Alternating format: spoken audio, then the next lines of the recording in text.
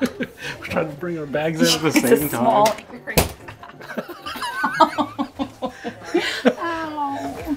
That's why the bags need to be inside. Oh, they should put the bags inside. All right. My toe hurts, but all right. Pretty standard. Bed. Sure, the couch pulls out to be a bed. All right, what's the rest of the room? Got a little TV. TV here. Um, Water this you gotta pay for. Water to pay for, four dollars. What's down there? Uh, do we the- have a mini fridge? The cooler? A cooler? Okay, so I guess standard balcony comes with a cooler. Little chair for the vanity. Uh, a single European outlet, two American outlets, Okay. a phone, hair dryer. Are there tissues in here? No, no. But there are lin- linen bags. Uh, get this out of the way. It's nice that we already got those. Okay, some shelves, Okay, good storage. hanging storage with our life jackets.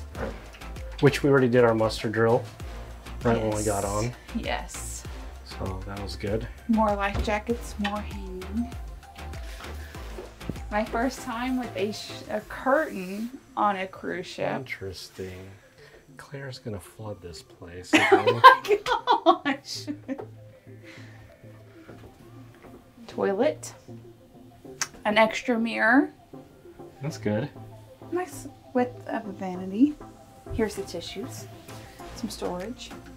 So, that's, I mean, this shower's not that small. We should get shampoo and shower gel.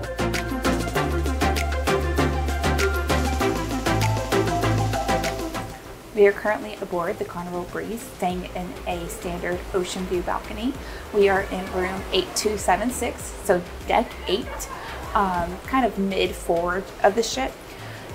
And we do have a balcony. Now, this is a standard balcony, so I think it's about 50 square feet, um, just enough room for two chairs and a table. Um, we haven't been enjoying too much time out here. Um, but it is nice to always have the balcony. Um, inside the room, there is a, a bed, which, which is two twin beds pushed together. Um, there is also a pull out couch, which I would imagine could sleep two, and there is also a twin bed that can pull out from the ceiling, so that is a nice touch as well. Um, it's pretty standard inside the cabin. We have a TV, a cooler, um, and a safe. Um, there is nice storage. Uh, this cruise, we actually did unpack our bags, which is a little bit rare for us to actually do, to actually move in for a few days. Um, so it has been nice to have the hanging storage as well as shelves to, to house our stuff for a few days. Um, within the bathroom, there is just the, um, the Beam Me Up Scotty shower with a shower curtain.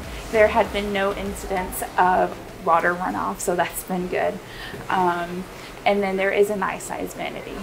Um, overall, it has been a great room to stay for a few nights, um, but I would imagine it would get a little crowded if you had more than two people. But again, the room does offer, I would imagine, to sleep up to five. So um, if you really love your family, you can squeeze in.